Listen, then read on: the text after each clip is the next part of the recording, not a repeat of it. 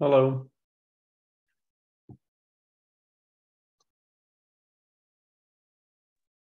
Hello, Oliver and Tom. Hi, Akash. Hi, Tom. Hi, hi.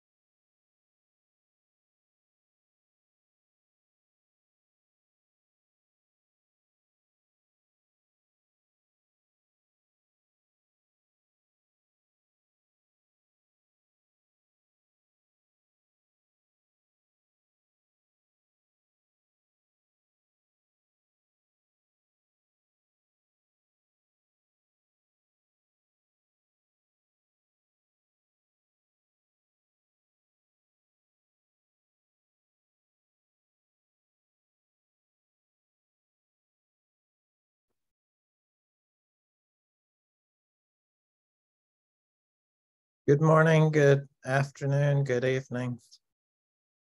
I think we have all time zones right now. Hello, Taylor. Hi, Hello. Taylor. How? Hello, Taylor. Good morning. All right.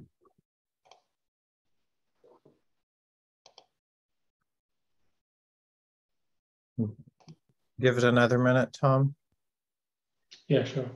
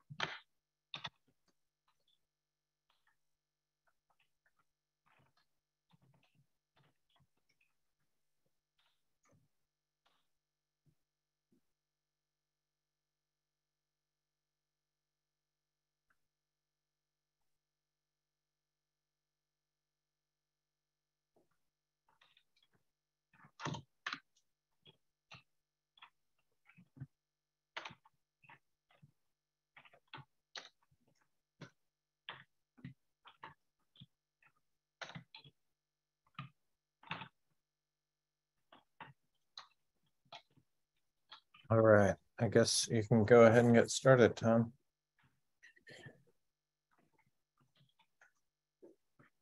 Okay, thank you. Welcome, everybody.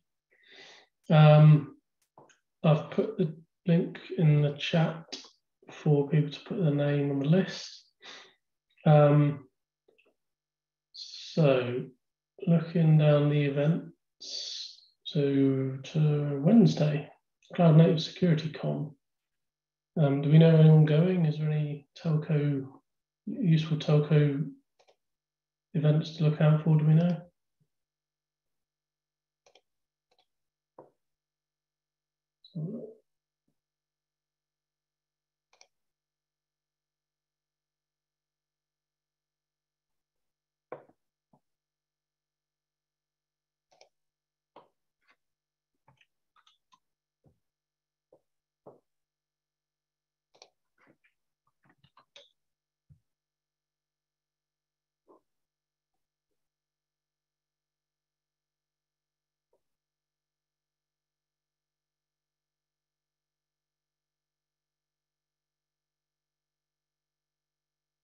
The Cloud Native Telco Day CFPs are open, so definitely um, want folks to get those in um, while it's still open. Hoping Yeah, when does that, when do they close? February twelfth? They extended it um, to the twelfth. Excellent. That's good.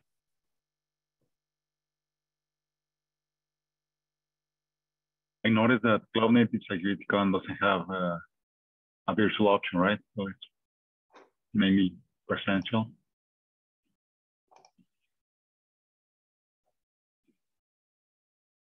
Yes, in person only. Okay, well, for the next time. Yeah.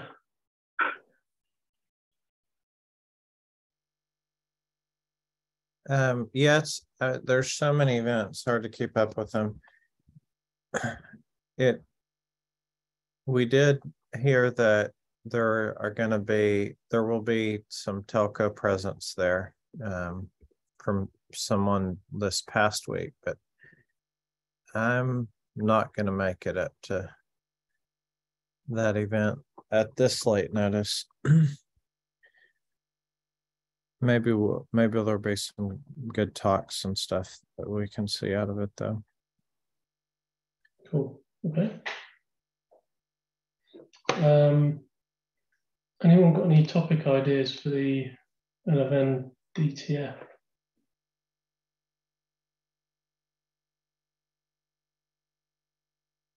These tend to be about topic, you know, the LFN projects. Um, so obviously they're relevant to telco. Um, wonder if there's any that we want to um, consider. It's a bit late notice, I know.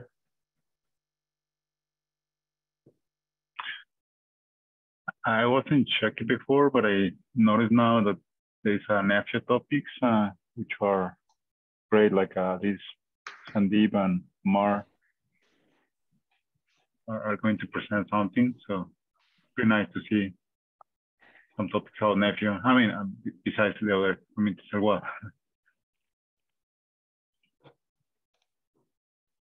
So it's one of these ones. Hmm. Cool.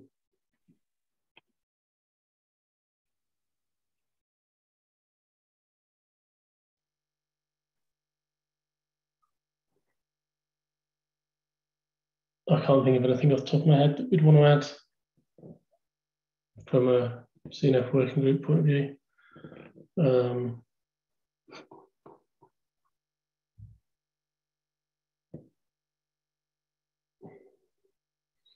I guess we could do a general interest topic thing, but I, haven't got the time to think about it at the moment.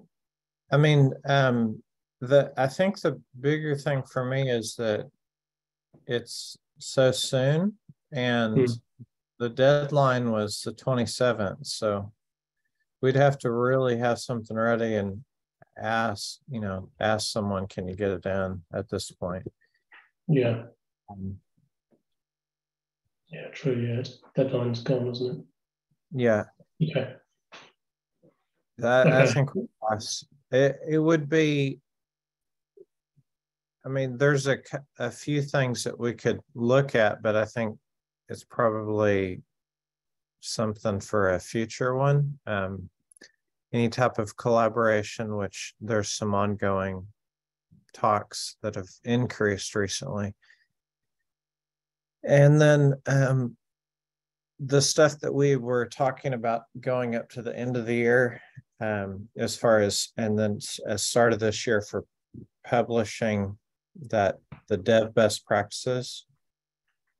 And, you know, if we can get maybe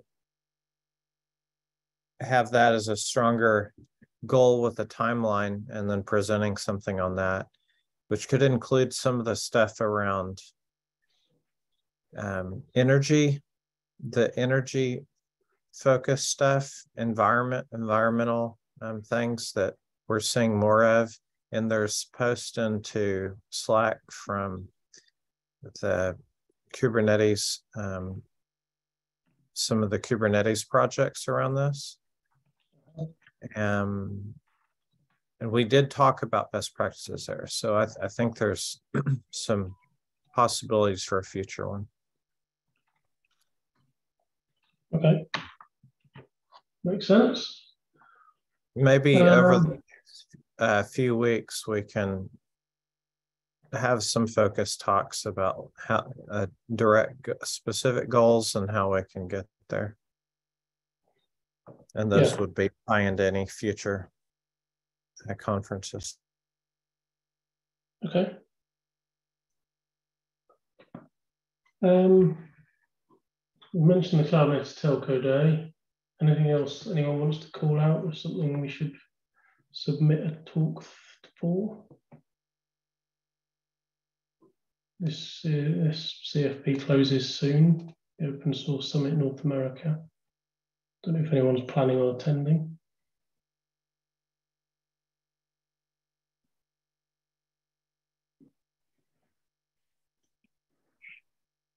Yeah, good point. Um,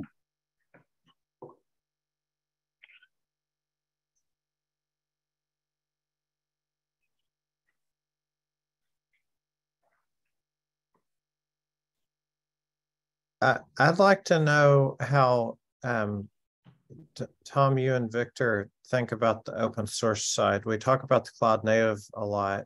The open source is, you know, underlying a lot of the pieces. when I'm in conversations with different orgs and trying to get collaboration,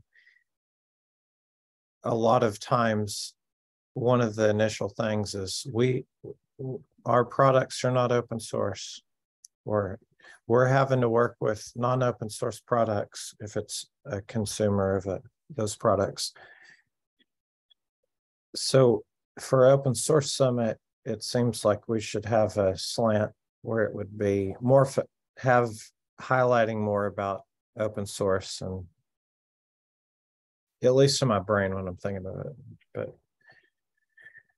But what do y'all oh, So I agree. I I think I think there's pl- there's plenty that could be said about the benefits of open source to telcos.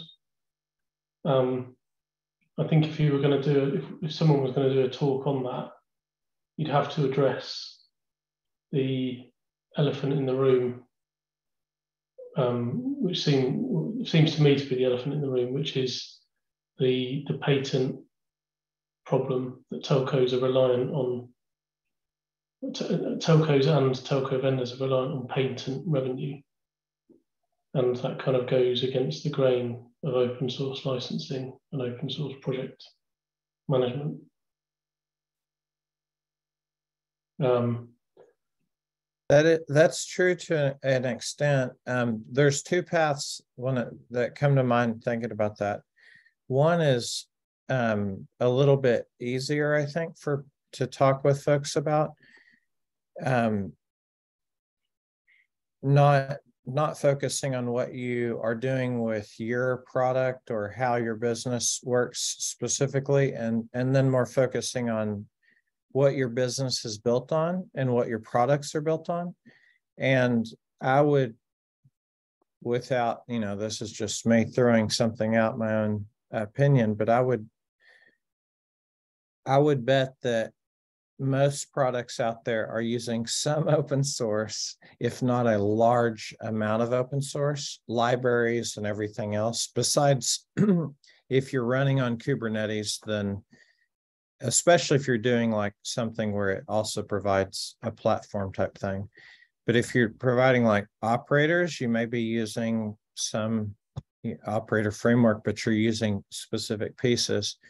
And that's without looking at containers running on something and um, DPDK, you know, for instance, well, lots of um, CNFs that are dealing with the uh, user plane are using DPDK and uh, you just keep going down that path. So you talk about how open source has provided a lot of benefits and I don't know, you could talk about that. And I, I think it, for some companies are more engaged with the whole open source community. So it's not just a technology.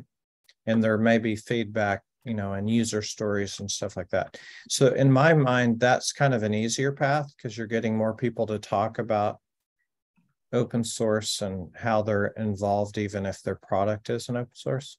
And then the other side would be talking about um, different models for what does it mean if you have an open source um, product? How, how do you deal with that? And there's a lot of examples of, of those, including like if you just looked at CNCF, then a, a lot of the projects, I'm not going to say all of them, but a lot of them, there is a commercial version of that project where they may call it enterprise or whatever else they call. It could be a hosted type of service or a, a version that has more plugins that they have, but the core would be open source. So, and that's just one path. There's a lot of paths for that. So I think there's an opportunity there that similar to cloud native, a lot of other domains have learned what what does it mean and how to work within you know how, how do you work within the whole how do you actually adopt open source um, ideals and that are beneficial? You know because this goes back to like bsd and and stuff which would be research and science and sh sharing does it benefit us more i think the telecom world is still can um, benefit from that similar to cloud native. I'm just not sure how to approach it into for telecom because it's a little bit different. Like how do you translate and show like the benefits of the adoption?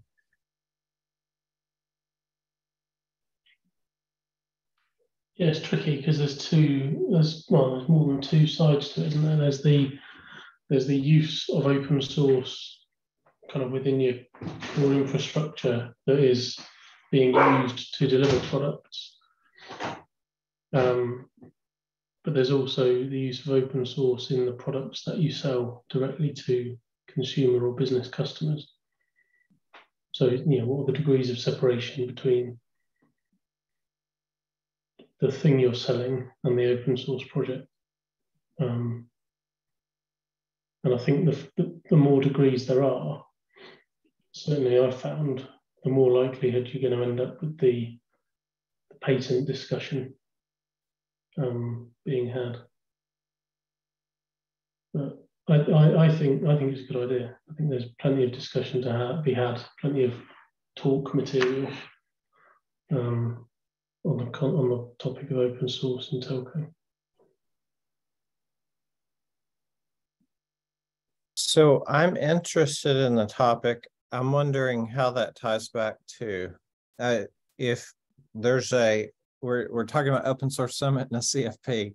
So is it something that we want to do as CNF working group? And that's separate from you and I, Tom, go, hey, this is interesting. Let's go do a talk at Open Source Summit. Just completely separate. That's, you know, it could be open source telecom. Does that is that good enough? to say that's related to the CNF working group, we're also interested. I'm just seeing how to tie it all together because we all have limited time. Hmm.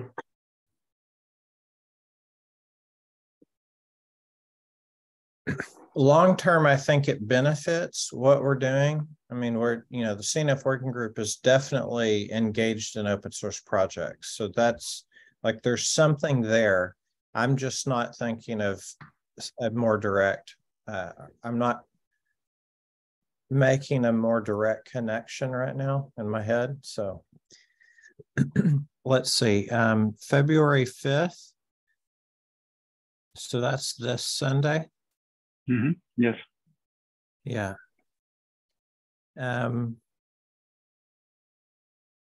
does anyone else have any thoughts? Like, how would we? Because uh, you know, if if we're going to put time into submitting on, on CFP, um, if we have an idea and we just want to submit something, fine, but um, and then we can always decline later, but I don't have something just ready.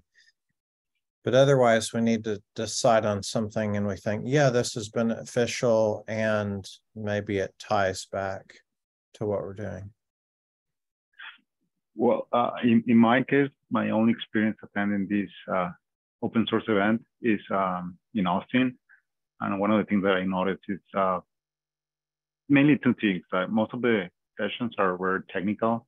They were trying to explain some complexities of the technology. And the other thing is like, um, uh, I feel like most of the attendees were looking for places to innovate, like uh, some looking for some fresh ideas or things like that.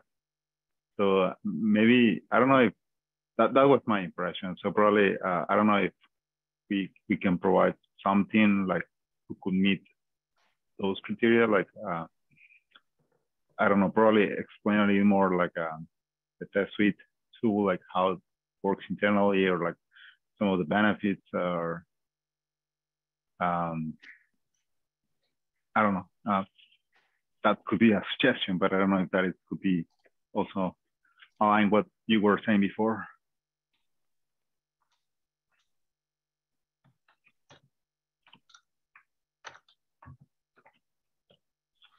So a, a kind of a slightly less technical talk about the benefits of open source in telco is less likely to go down well, but a, a more technical deep dive into an open source project that's relevant to telco might be more successful. So I've understood.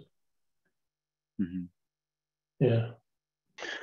I I just would maybe on that same topic, um, and I know this wasn't necessarily the ask, but I, it feels like the the there are a couple different angles. I mean, you can take the angle of sort of the benefits of using open source uh, and the test suite being an example of that, right? Um, uh, in in with the purpose of helping to drive uh, cloud native adoption. Um, you can make me so depending on which forum, right? Which you know, I was thinking you asked earlier, um, and I think there was a comment, uh, Taylor. I think you put it on um, the D, DNTF. You know, uh, for example, if you scroll up just a little bit, I think that was. I'm trying to see this on the on the screen here.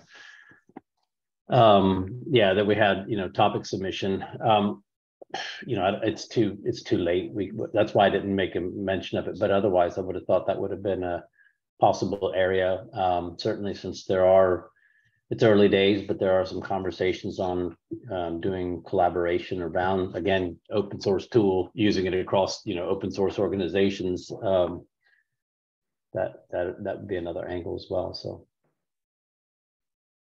I guess we were mainly focused on the open source part though, which was which um, that one's maybe we have time for that. Uh, that we won't have a time for the LFN D and T F this time around, but maybe one of the future ones.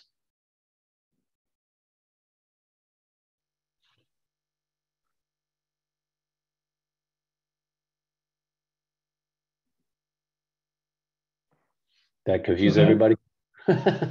no, it sense. I'm, I'm, I'm, I'm taking that into consideration with what Victor had said, yeah. and um, I think it's maybe similar to the higher level um, thing that Tom was talking about, and if if we can't find, if we don't think there's going to be a a good audience for what we're presenting, then we can spend our time elsewhere. That's it. We don't have, I'd love to visit Vancouver again. but yeah. um, I think that we should uh, respect our time and, and, you know, know that we're only going to have so much time. So if I'm willing to have a follow up call. I don't want to take the whole call thinking about open source summit if if we don't have anything. But if if we think that there might be something to focus on, um, then we could do that.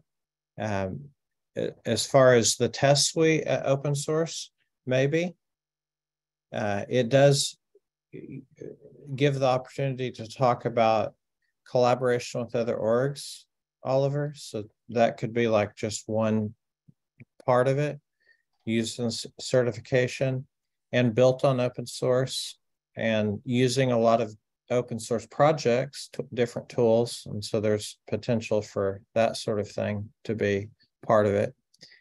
Um,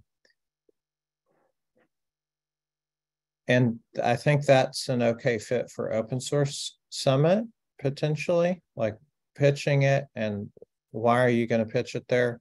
Maybe as a a testing tool that could be, you know, used by other developers and um, ops folks and whatever else. And then just the benefit of collaboration groups. So I see something there. Um, I'm I'm not tying it back to why we would do it as as CNF, you know, working group folks and and how that relates back to telco. So maybe let's table it unless y'all have some ideas like more, and if you want to continue, that's fine, but give the opportunity to move on. And if we table it, but we're having some ideas in the back of our head, either on that, what you put forward, Victor, or something else, I'm willing to set some time for this. I mean, I, I do think that we need to set some specific goals and try to push for more involvement with the working group and push more of like, how do we get people engaged in cloud native and open source telecom and the benefits of those things? Uh, CICD and a lot of these things are driven by the efforts in open source. So a lot of it's just like, what are you missing in methodology and thinking of sol- problem solving? Um, anyways, what, what do y'all think? Table it and come back? I, I think so. I, I don't think it's feasible to do something by Sunday. Yeah, well, I will, I'm gonna just set some time on my calendar and if anyone um, wants, thinks of something, then just message me and I'll uh, make some time this week. And if we're like, nope, we have an idea, let's go forward, then let's do that. Okay, sounds good. Yep, agreed. All right. Do, does anyone know about that big five event in Austin? Any of y'all attending or know anyone attending? Um, I won't be attending, and I'm not. I've not come across it before.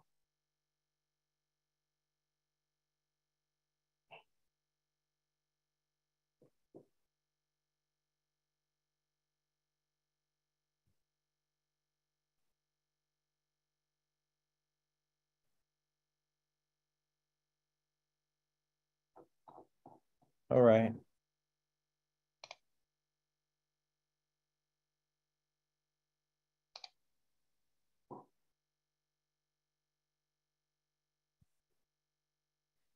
Looks like it's specific to North America, maybe.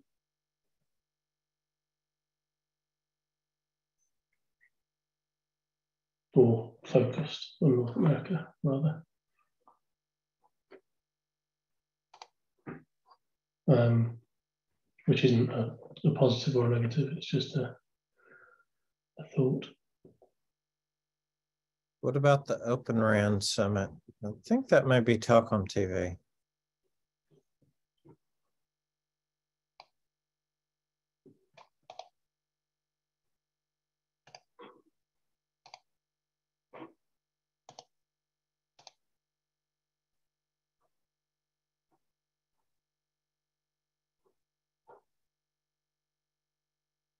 Huh.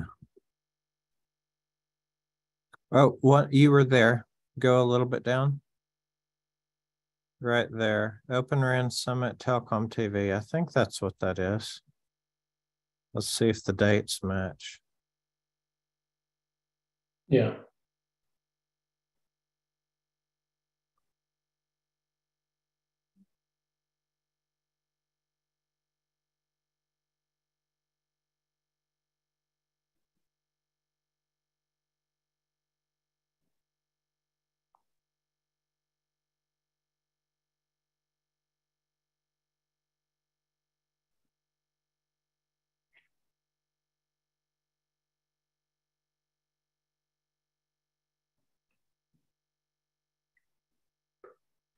Um,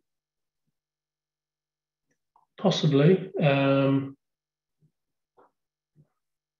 focuses on total cost of ownership, SI models, development of stable and reliable RIC,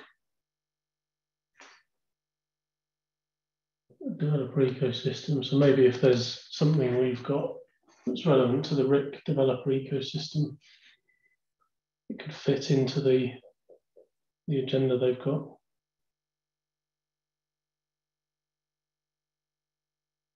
Certainly, my my experience of watching those things before is that they are not very technical.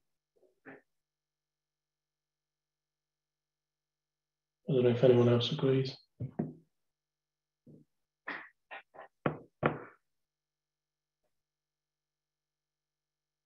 They get a lot of folks joining. I've seen that even the in person too, filling up a room. Um, but it seems like the conversations or topics are pretty set by the time you're seeing anything. Yeah, and, and it's often it's often either this kind of interview, it's this interview format rather than a, Mm-hmm. you know, someone giving a decent chat.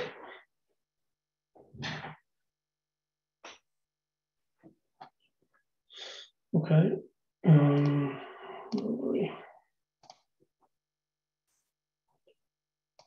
I mean, Open Source Summit Europe, we can, we've just spoken about. I think we've got more time to prepare for something for that.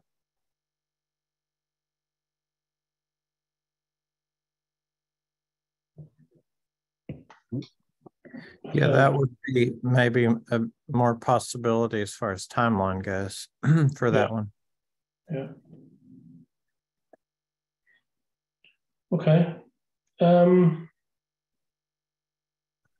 should we move on to the reviewing the PRs and the issues? Yeah, and if we have any topics that come up, we can start looking for a conference. well, I WC, mean, that's a good that's a good way of doing it. Is you know people have a, a kind of a blueprint for a talk they want to give on something relevant to the CNF working group. It's that's a nice way of doing it because then it's it's ready for when a suitable conference comes around. So maybe maybe we should do that anyway. So put Yeah. together a couple of couple of talk options. yeah, that sounds good. I'm sure if um, if we start working on the options, then we'll be able to find some somewhere to talk. There's a lot of places.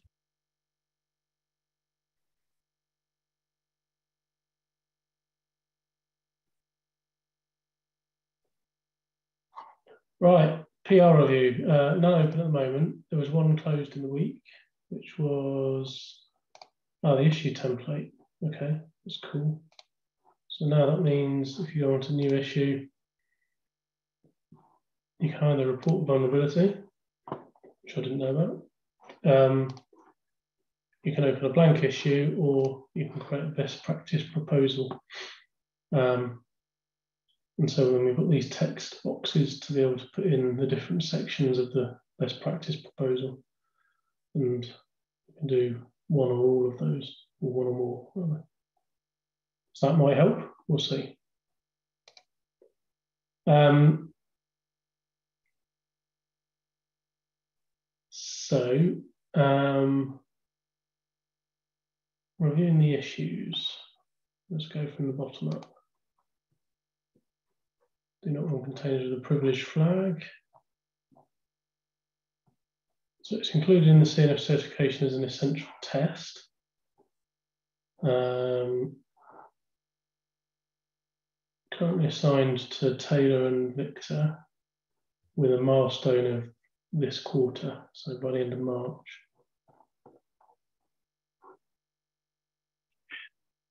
Yes, we need to work on that proposal. I mean, so it's just a matter of uh, putting all the all, all the things that we have in a PR.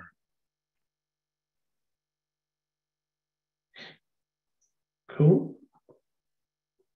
I'm gonna uh, send you a calendar invite, Victor.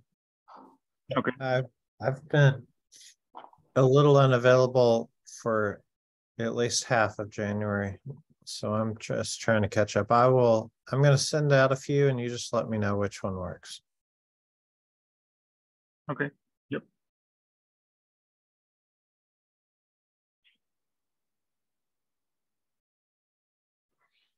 Okay. Uh, requirements for multi-interface on hold. Any reasons to bring that off hold? No, well, probably related with the same PR. Uh, well, same issue is like uh, the, the parallel effort that the Kubernetes community is doing. Uh, just put some of the latest things that they were discussing about uh, naming. Um, so I think that they are going to send a survey based on the number of proposals. So they have narrowed down a few of them. So if you are able to, to vote, maybe you can choose your ref uh, option. And they try to summarize the, the, the, intent or like the goal for, for that new uh, Kubernetes resource.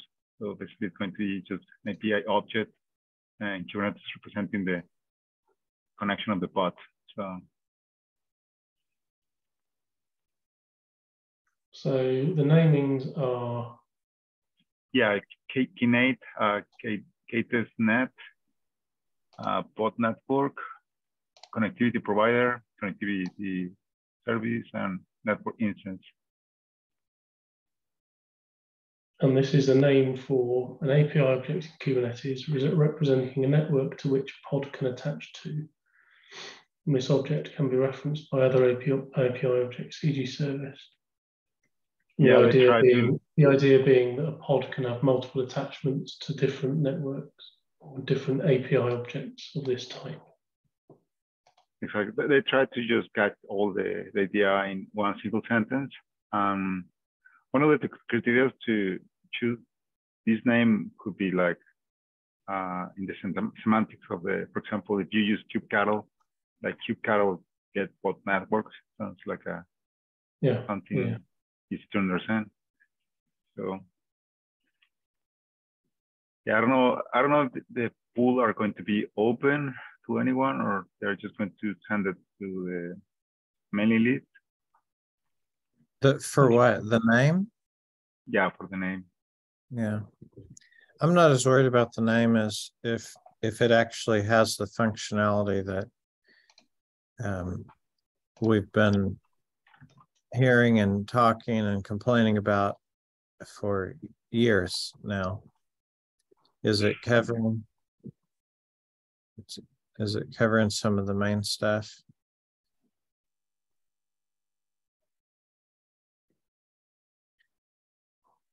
Is network service mesh folks, are they saying this? Uh, good question. I, think so. Yeah, I I mean I haven't been attending those calls for a while, so I'm not I don't know if it's been a current topic. I haven't seen it when I'm just looking at the network service mesh meetup note, meeting notes.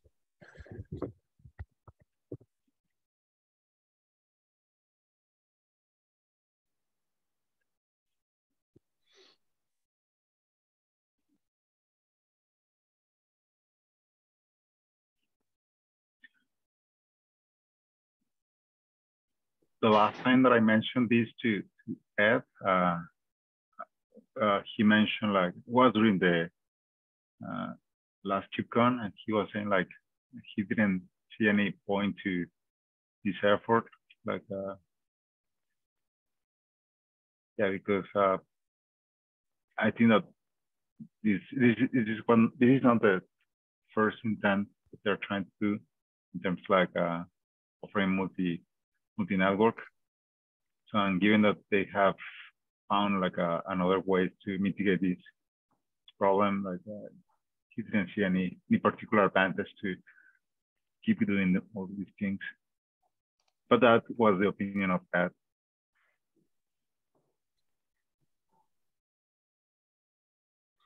Interesting. Okay. Need to have a read through this. So when are the calls for this? Uh, Wednesday, 8 a.m. PST. Is that for Europe? I I think that they are recording the the, the, the meetings. They switch from Google Meets to uh, Linux Foundation Zoom meeting platform. Mhm. So I don't know if uh, probably I don't know if that was recorded, but they usually try to record the session. Okay.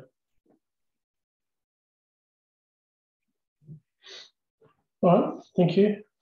Uh, so that's relating to this issue, which will remain on hold for now. Quite a link to non-root and non-root. Oh, I just need to get on with that. I'm going to clear out some time.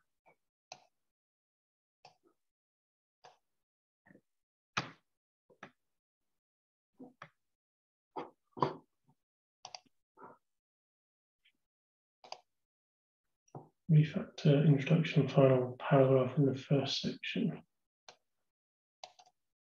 Okay, um, no one assigned to that yet. If anyone wants to work on that, please go ahead and assign yourself and create PR.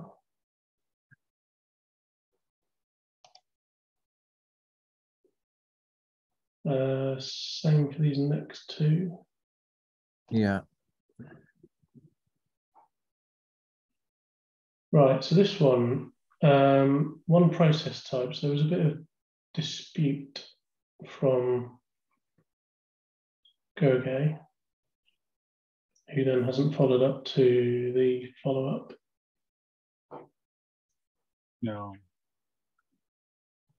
I know Um, uh, Watson is gonna be talking with Ger, or plans to talk with Gergely, I think this week. Um, Okay. And yeah, I don't know if I'd put it in there, but um he's he's gonna be talking with them some, but they've been working on more write-up about related items that would tie into this. And I think there's a microservice white paper that is being um, edited right now. So that'll have a lot more content about this and we'd probably point to that as a reference and have further discussion. Ideally, though, if, you know, this is going to be something proposed and there's Gergely actually even opened a pull request to just remove it from the test suite as a a main essential test or something. I, I can't remember. That's outside of the working group, but Okay. um, I- i- ideally, you know, we can get Gergely on here to go in and, and provide, um, you know, here's alternatives and other stuff. Uh, I do want to like bring up on the call, and this is recorded, so have it like that, that we're trying to create guidelines for what we think is the best path to follow for most cases, not all cases. So the idea with any of these, like the privilege flag and all these other stuff, are most of the time you should try to do these things. But when there's times where you shouldn't, then that's okay. And the way that we've been writing up the best practices communicate that, including caveats that you're going to run into if you don't do this, um, alternatives, any anything like that. So, if there's a dissenting view that we think is important to highlight, then that can go right into a best practice. If we think that it's you know a best practice that should be followed in most cases. Um, and this particular one is related to how you would be utilizing microservices normally, which would tie into I think a lot of the best practices and cloud native practices that you would be following. That's that's why it's being put forward. It's tied into a lot of things. So we I think we need to have more context given from any um, other views and then make decisions on does it go into the caveats area, options area? Does it mean that we don't want to put it forward as a, a best practice? There's a lot of things there. Yeah. Okay.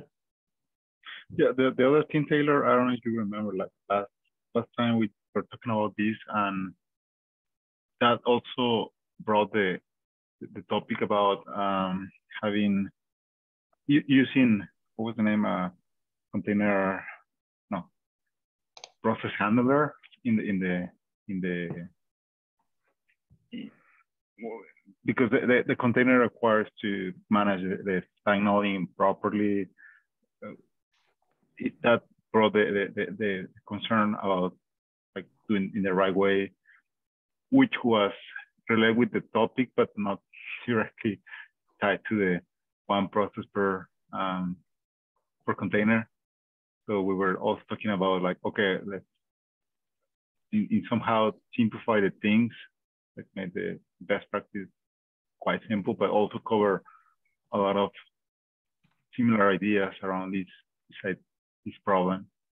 Um, do you remember like that particular topic about um, managing signals uh, properly?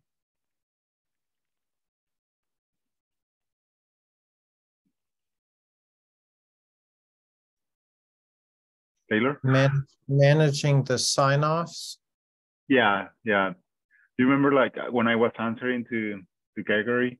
Um, so one of the topics that I found was uh, related to, to the most of the cases, like, I mean, you can, definitely you can manage multiple processes per container, But one of the major problems is like if if you are not propagating those signals to to the container manager, uh, you, you get a problem. So, and, and they were suggesting, some articles were suggesting to use other tools in the Docker entry point to yeah. propagate those things. I mean, it was related with the, the, the one process per container probably, but also it was another kind of best practice for, for that the, for the Docker create the container creation. So eventually we follow the similar pattern, like like digging more things, and eventually we will proliferate in a lot of best practices with uh, similar topics.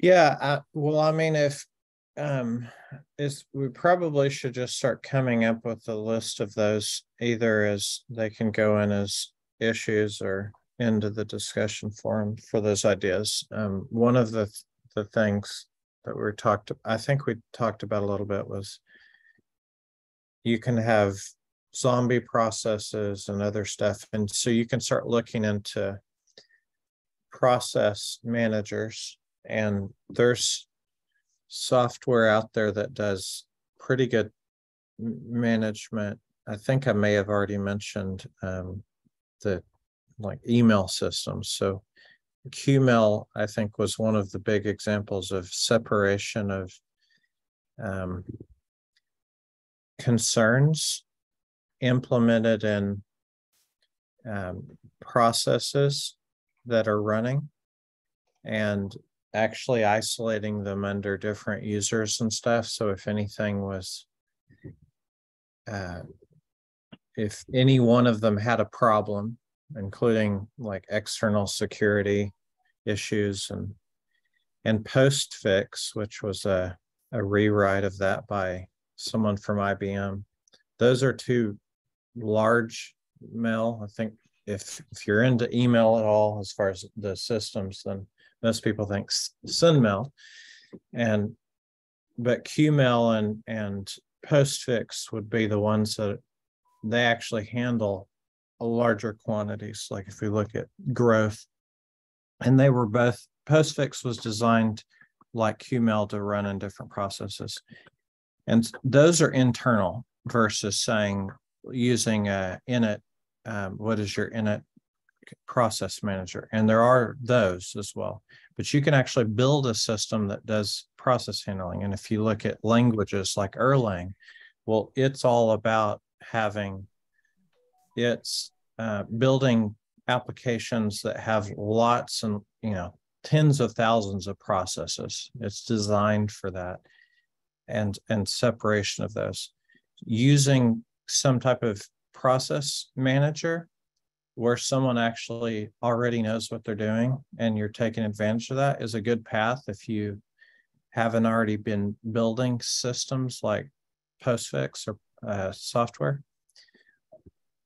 the idea with a best practice of one process type, not multiple processes, but one process type in a container is is a method of separation similar to what Postfix is doing with multiple concerns broken into processes. They're not containers, they're just processes. Or if you're running something like Erlang and you're having a lot of processes, but each little component may be split off. Versus saying, I'm going to have one container and run running using a process um, monitor and manager that can run everything, but you end up with lots of process types. Uh, which moves you towards it's an anti-pattern for uh, micros following uh, microservice model. And there'd be a lot of different things that you could start pointing out. But this again is more of is this the path that works for you? Like, do you want to take all the benefits and you have caveats or not? And there, you know, you could definitely have a a container, I don't want to say a CNF, I'm going to be more specific. You have a single container that has multiple process types, and you have a very strong and valid reason for that.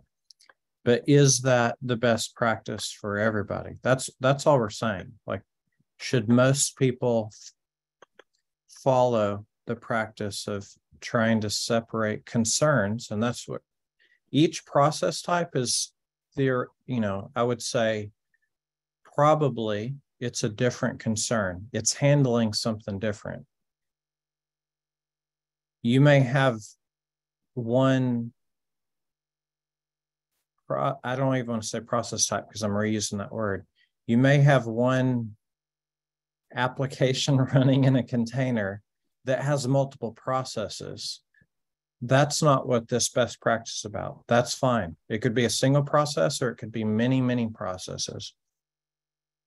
It's when you have a different process type. So they're doing multiple things. And the best practice is saying when you have multiple things being handled, multiple services, multiple functionality, you're doing processing different types of things, then the recommendation is to split those and not have them in the same container.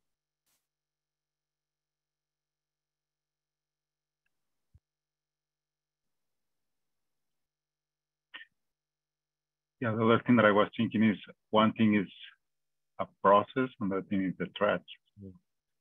I mean, definitely having multiple threads on a single application is totally fine.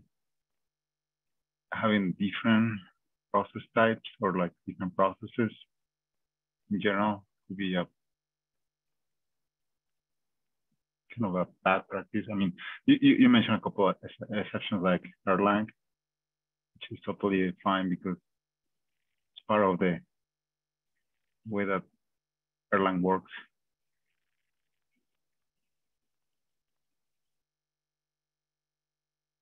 Erlang is hard for me to think about in Kubernetes because it's in a lot of ways, um, and it, and people do write Erlang and Erlang derivative um, applications running on Kubernetes. Um, but what's weird for me is Erlang, in a lot of ways, is designed to work like Kubernetes. Like it is essentially Kubernetes. It has its own um, system for handling restarts and monitoring and all of the a lot of the stuff that Kubernetes does as a framework. Um, and core applications in Kubernetes to help other applications that you write to work well. And you don't have to think about those things. Erlang plus the, the standard library in Erlang is how they look at it. That core mm-hmm. is designed the same way. But it's also designed to run tens of thousands of processes. And um, when you're when you're building an application and it's designed to split them all up but kubernetes is designed to where you're you know you would build lots of containers and they work together. You know not i'm running a kubernetes cluster and i have three big applications that are five gigs a piece with massive data sets. That's an unusual uh, case for Kubernetes. Most of the time, you're talking about thousands, you know, or people are talking thousands or tens of thousands of containers on running on a cluster. And with Erlang, it's it feels a little weirder to split it out. I'm I mainly brought it up as an example of that particular programming language. You would, if you're if you're building a container, it feels a little weird to split an Erlang container out. Um, so if if you if you had an Erlang telecom application and you're trying to run it on Kubernetes, I can see how splitting different process types into different containers doesn't make as much sense because you're actually not taking advantage of Erlang. Like the actual system was designed to have really high speed connectivity between essentially its own little mini containers, what would be running on the Erlang VM. But I would count Erlang as a a, a very small subset of applications that are targeting Kubernetes. As far as I know, I'm I'm not hearing about a lot of telecoms that are going, "Hey, we're trying, we're having trouble." Um, I like the language, but I think for most languages, that's not the case, including like Java, you know, C++. You know, besides you know, and most most any language that I can think of right now, it's that's not an issue. Um, just conscious of time, I've got to jump to my next call. I'm afraid. Um, yeah. I think that's that's been quite interesting and useful discussion. Um, I know it's hard, but if you if we can summarise some of that in the in the issue, I think it will help whoever comes to write that. Um, um, I know we're run, I know we're running over time, but I just want to. Uh, it's a comment I think we can address on the next time around on that specific. Um, I, I think we we're talking about Taylor. You're talking about it being in some cases, you know, there may be reasons for not doing this. Uh, you know, and you're in other words, you're saying this doesn't necessarily apply to to everyone. There are caveats, etc. the only thing I think uh, that we need to address somewhere and all that is I think people think about the certifications and things like that. And if it's an essential test and you don't do this, then you lower your chances perhaps of, of being able to certify. So I think that needs to just be addressed some way because uh, ultimately we don't want to turn people away saying, well, if you if you have a, re- a, good reason for doing it, go ahead and do that. But that doesn't you may not get your you may not be awarded a a a a, a, uh, a certification if that's something you're trying to do. So anyway, I just just put that out there for us to yeah. not forget.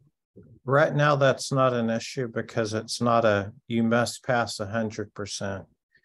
I know, I know, it I know. comes down to one that someone doesn't pass, that doesn't mean they don't get certified. So, uh, if, if it turns out that we have a large set of things that we're all recommending, these are essential. And then we have the majority of people not being able to get certified, you know, we can think about what does that mean? Um, ideally,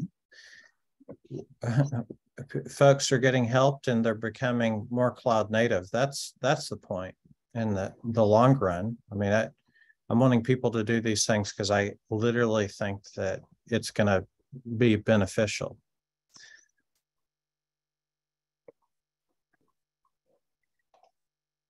Add, add any comments or notes, we can um continue next time. Yeah, brilliant. If Thanks, someone all. has ideas for talks, uh, just reach out. Thanks, Will everyone. Thanks, Tom. Thanks, you. everyone. Cheers, Bye. bye.